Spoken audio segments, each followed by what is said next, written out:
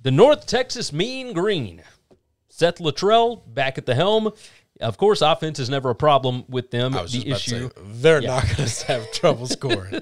the issue has been uh, defense. Of course, their win total is at four. To go over is plus one ten. The under is juiced at minus one forty.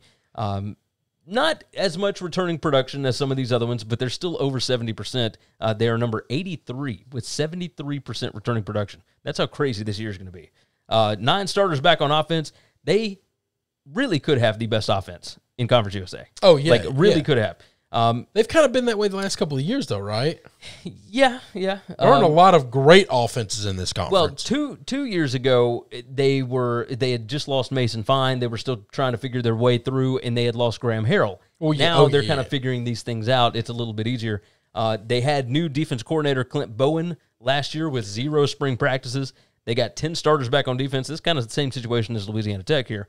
the difference is, I think those boys of Louisiana Tech are more talented on defense Oh, yes. than Texas, uh, North Texas. Very That's much. that's the issue here. Is they're returning a lot of dudes, but I don't think these guys are dudes.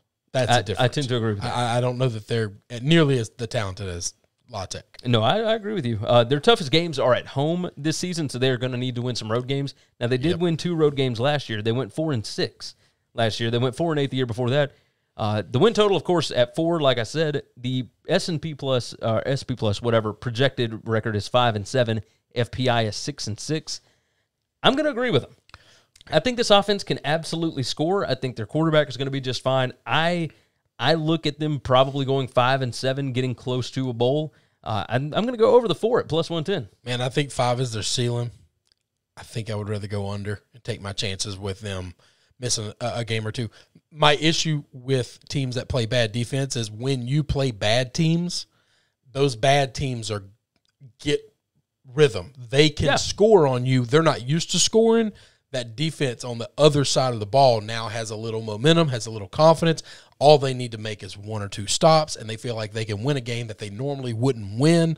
That's I- true. This is this is why I don't like teams that can't play defense. That's you, That you that's do have a one thing that scares me. I think there's a there's a team that they'll would be favored to, probably heavily favored, maybe seven points more, that they're going to lose to because they possible. believe they're in the game because they can keep scoring. Entirely possible. Entirely possible. Thanks for listening to the Winning Cures Everything podcast. The website is winningcureseverything.com, and if you want to connect with us, we're on Twitter at Gary WCE, at Chris B. Giannini, at Winning Cures, or you can email us, Gary at winningcureseverything.com or Chris at winningcureseverything.com. Subscribe everywhere you need to subscribe, and we'll see you soon.